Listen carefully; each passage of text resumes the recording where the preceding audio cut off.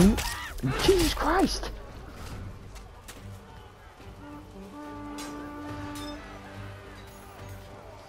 Is this what medieval times is like? Yes. How do you work in this every day? How do you work?